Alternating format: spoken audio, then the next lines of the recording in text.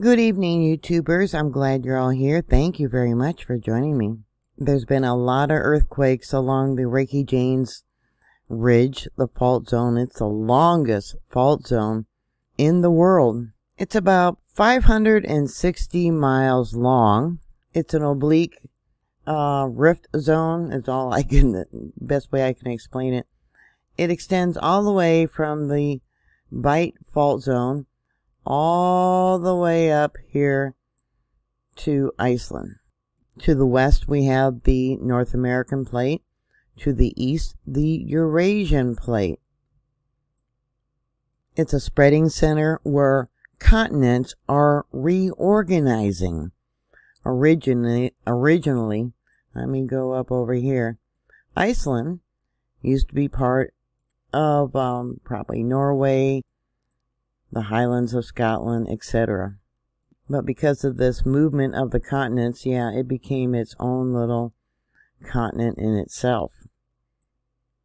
During the last major magnetic pole reversal, the continents actually moved. We had great earthquakes, we had volcanic eruptions, and as the Earth's magnetic field weakens even more, nowadays for the next uh, magnetic pole reversal, we're going to see a lot more of these continents moving and shifting around. And this is why we're having all these earthquakes, 50 in fact, in the last week. The largest being a magnitude 5.8, which was yesterday. Only 6.2 uh, only 6.2 miles below sea level. The spreading is actually slower down here um, at the southern end of the fault zone, and it's actually faster up here by Iceland, and that's why they have so many volcanic eruptions. Yeah, it looks like the plate boundaries are trying to increase in their reorganization, and more likely going up towards Iceland, there's going to be more volcanic eruptions, more so than what we've had in the last year.